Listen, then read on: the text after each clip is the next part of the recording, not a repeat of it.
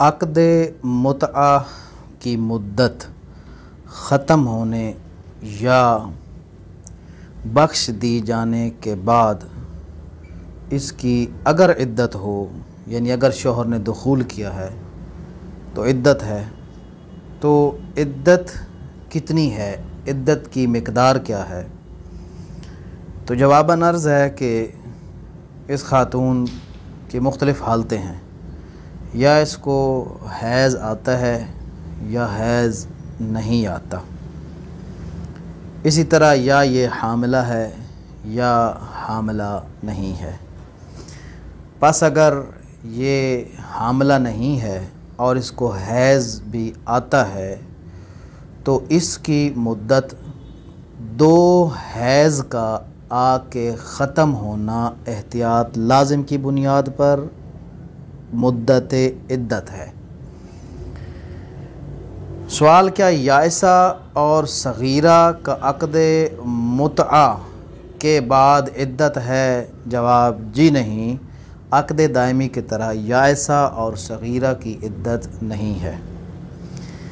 एक और सवाल के अगर औरत की उम्र ऐसी हो कि इस जैसी दूसरी ख़वातीन को हैज़ आता है मगर इसको किसी बीमारी या दूसरी वजह से हैज़ नहीं आता तो इसकी मकदार इद्दत कितनी होगी? यानी ये दूसरे नंबर की ख़ातून है कि जिसको हैज़ आते ही नहीं है और ये ख़ातून हामला भी नहीं है।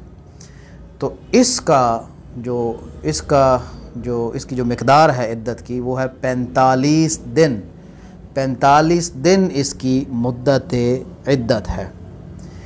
अगर हामला खातून है हैज़ भी आता है और ये हामला खातून है। बहरहाल हामला होना इसका अहम है।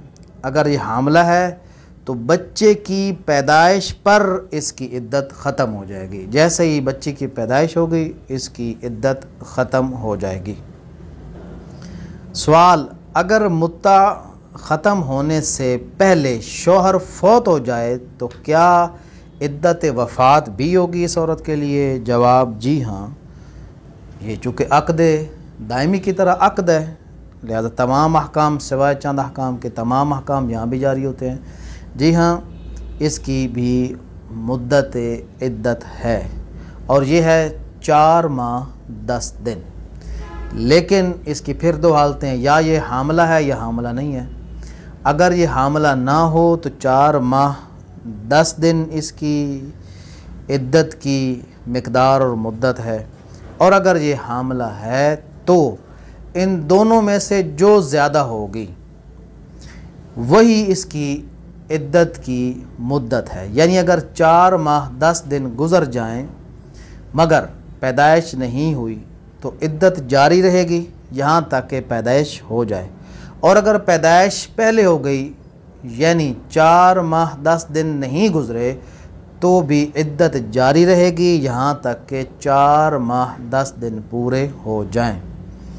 सवाल ये है कि निकाह मुतआ की सूरत में पैदा होने वाली औलाद का क्या हुक्म है?